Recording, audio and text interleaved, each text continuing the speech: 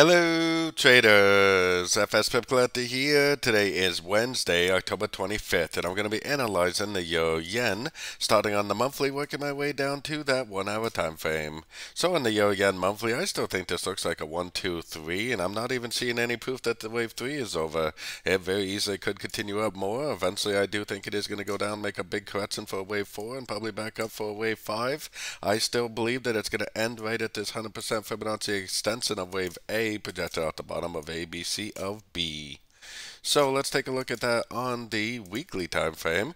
On the weekly time frame, I believe this is the end of a wave two way back here, and pretty much ever since that day, we have been making higher lows. That is pretty much the definition of an uptrend. We do have a little bit of a double top right here, so maybe it will make a pullback, but until I get a significant break of structure, I am for sure primarily going to be looking for longs on shorter time frame still. Going down to that daily time frame. So on the daily time frame, like I said, we got a little bit of a double top here, but for me, it still has not really broken any structure to the downside. Probably the most recent structure levels are right here, and our most recent break is actually to the upside. So I think this move down very easily could just be another pullback, another correction, and maybe later on we'll get another continuation of the uptrend.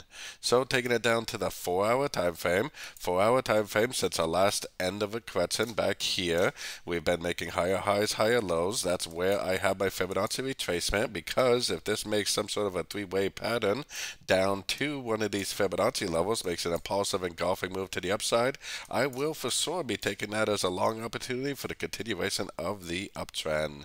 Until I see proof that the trend is over, unlike the daily time frame and up, I am for sure primarily looking for longs on shorter time frames. Now going down to the one hour time frame, sort of day traders, I mean this definitely looks like the end of an ABC correction right there.